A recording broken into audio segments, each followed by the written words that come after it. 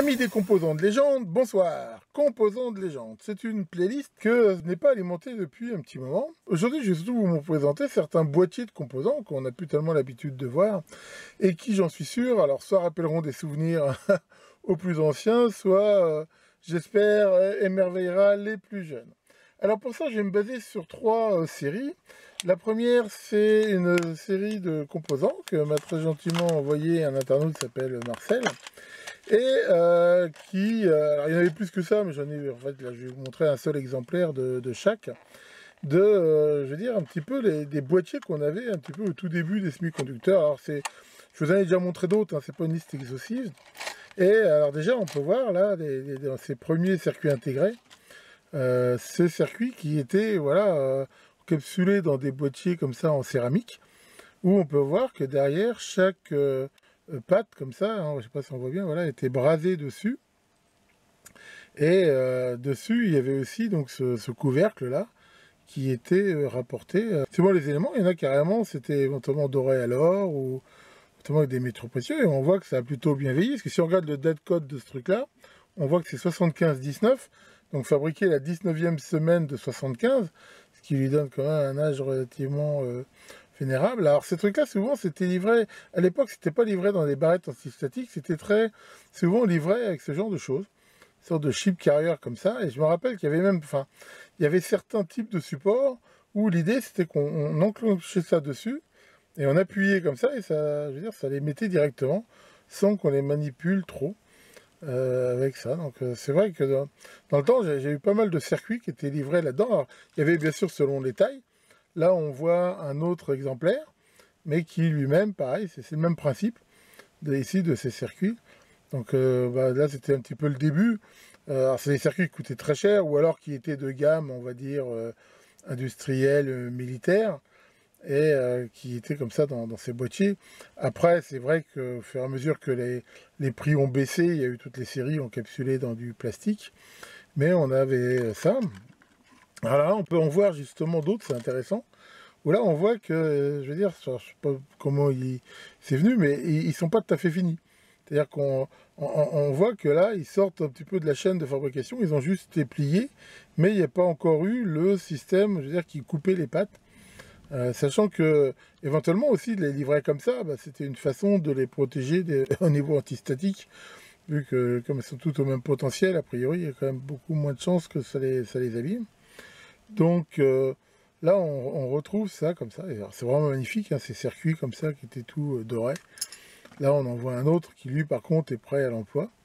Alors, euh, pour info, c'est un SFC 407. Lui, a priori, il date de 75 aussi. Voilà, un beau circuit comme ça.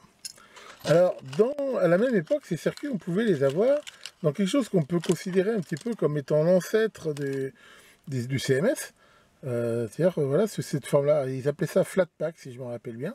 On voit que c'est quand même très peu épais. Et euh, ça a quand même ces, pattes assez longues.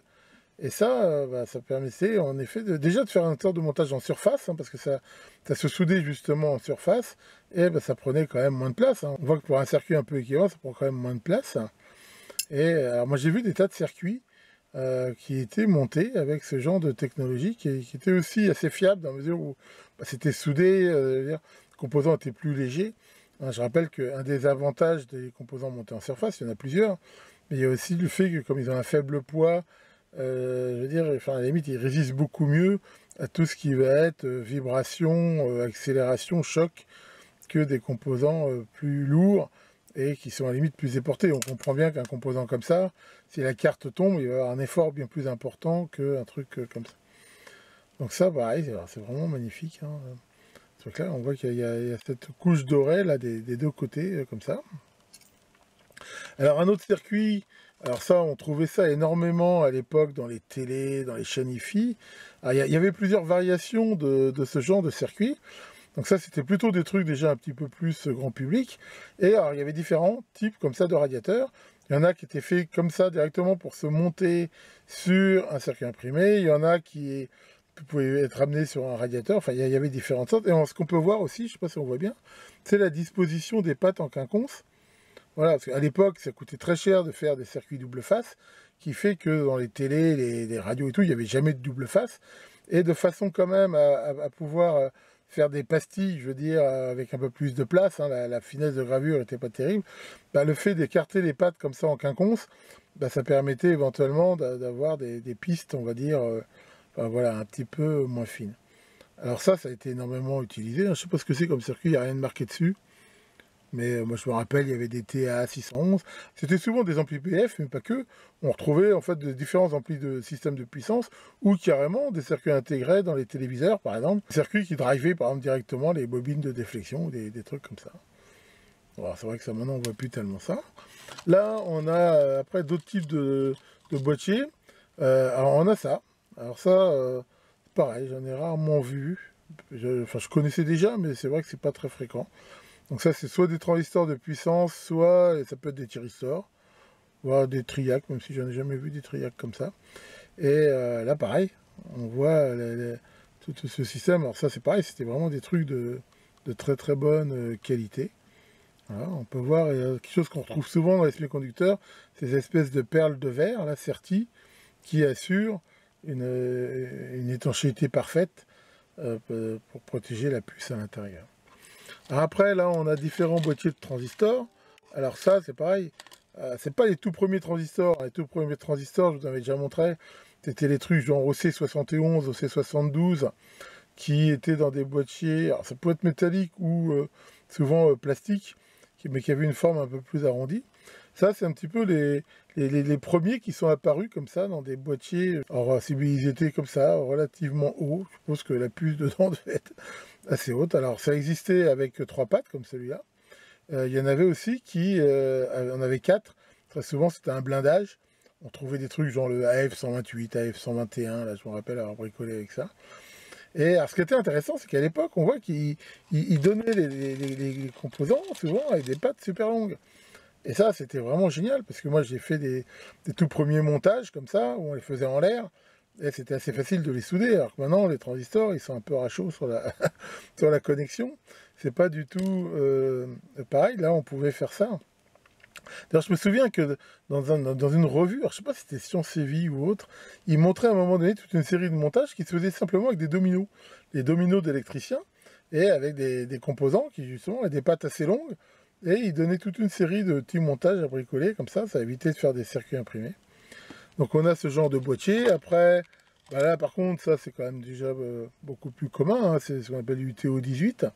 Mais voilà, encore une fois, ce qui n'est pas fréquent, c'est d'avoir là des pattes longues. Alors là, justement, là, on voit un exemplaire, comme on peut le voir, qui a quatre pattes. Il y en a probablement une qui est probablement reliée au boîtier et qui fait office de blindage. Alors on trouvait aussi des fois, par exemple, comme on peut le voir, des transistors doubles. Hein, je vous ai déjà expliqué l'intérêt d'avoir comme ça des, arrêts de transistors qui peuvent être doubles, quadruples ou autres. Hein, ce qui permet souvent bah, d'avoir des caractéristiques déjà à la fabrication qui sont très proches. Et surtout, comme ils sont sur le même substrat, bah, voilà, ils, vont évoluer de la même façon s'ils chauffent un petit peu et tout. Ça permet euh, dans des montages symétriques, comme des, des étages différentiels d'ampli op ou de trucs comme ça, de garder de, bonnes euh, caractéristiques. Alors là, on voit que ça existait, ça, par exemple, avec aussi différentes euh, euh, tailles. On voit que là, c'est le même système, hein, ça ressemble à du TO5, hein, mais voilà, ça, on voit que c'est plus haut, comme ça. Donc là, on a un exemple de transistor double. Là, un bon vieux transistor classique. Et comme ça arrivait souvent, mais pas toujours, des fois, il y a carrément une patte qui est directement aussi reliée au boîtier. Donc, généralement, c'est le collecteur, pas toujours, mais c'est souvent comme ça. Et euh, sur ce genre de boîtier, on voit que le petit ergot ici représente l'émetteur. Donc, le, truc est facile à repérer. Alors, par contre, voilà, il faut faire attention. C'est que sur ce transistor-là, pas toujours, mais dans de très nombreux cas, le collecteur est relié au boîtier qui est métallique, donc conducteur. Ce qui veut dire que, des fois c'est pratique, hein, qu'on fait des mesures, bah, il suffit d'appuyer sur le collecteur, mais euh, s'il y a de la haute bourre, euh, ça m'est arrivé, euh, si on fait pas gaffe, et eh ben voilà, quand on tripote dans le circuit, si on touche le boîtier, je me rappelle avoir fait ça dans un oscilloscope où il y avait du 3 ou 400 volts dessus, ça m'a secoué un petit peu. Et après, on trouvait aussi, par exemple, typiquement, voilà, des, circuits intégrés. donc il y a eu plein de séries comme ça.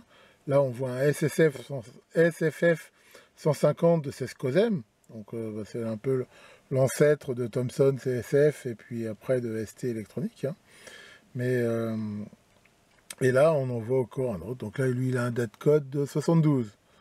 Voilà, donc c'est pas jeune. Alors ça, ça existait avec différents nombres de broches.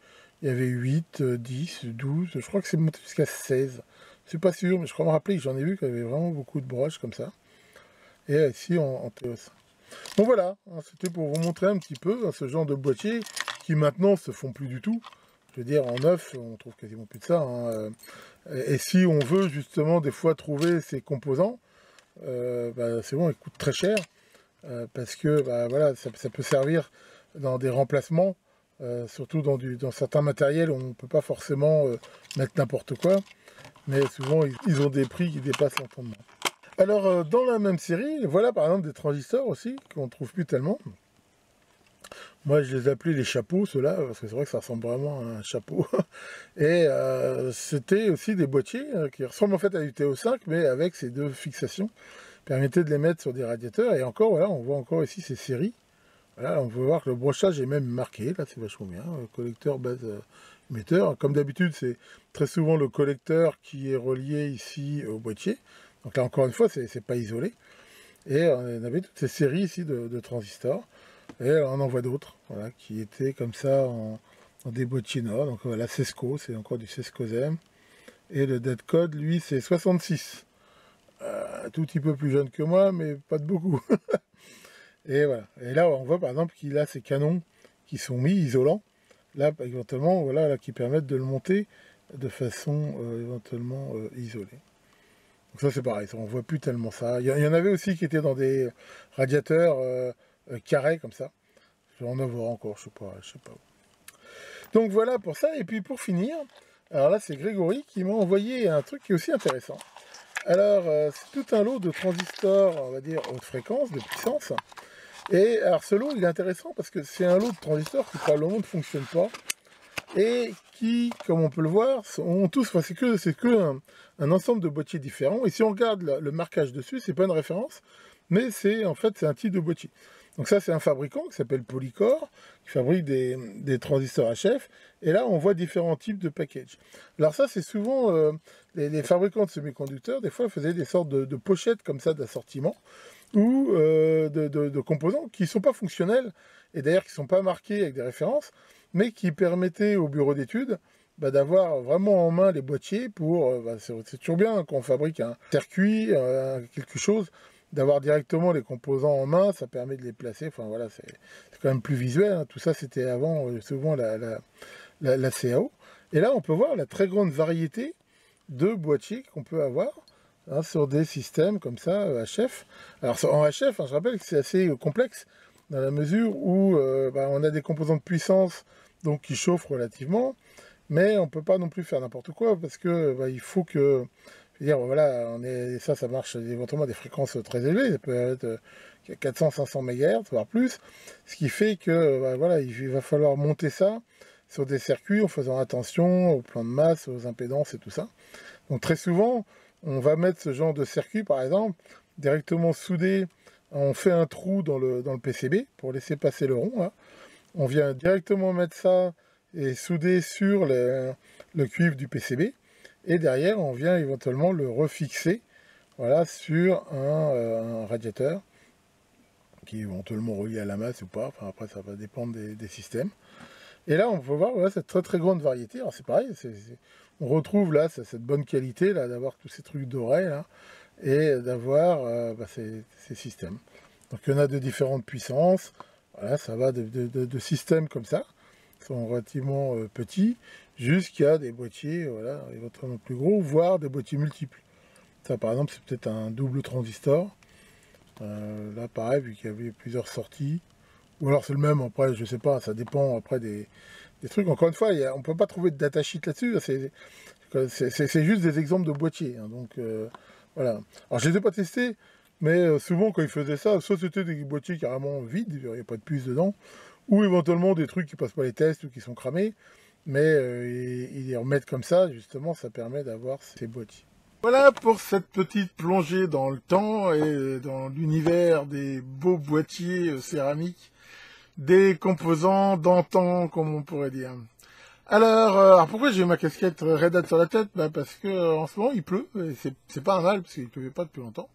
Ça m'a d'ailleurs permis de voir que la réparation de mon petit pluviomètre, là, que je vous avais montré, euh, bah, était tout à fait bénéfique, parce que là, il m'a énoncé jusqu'à 30 et quelques millimètres en 2-3 jours, donc bah, déjà ça fonctionne, et que bah, il tombe de l'eau, ce qui ma foi une bonne chose.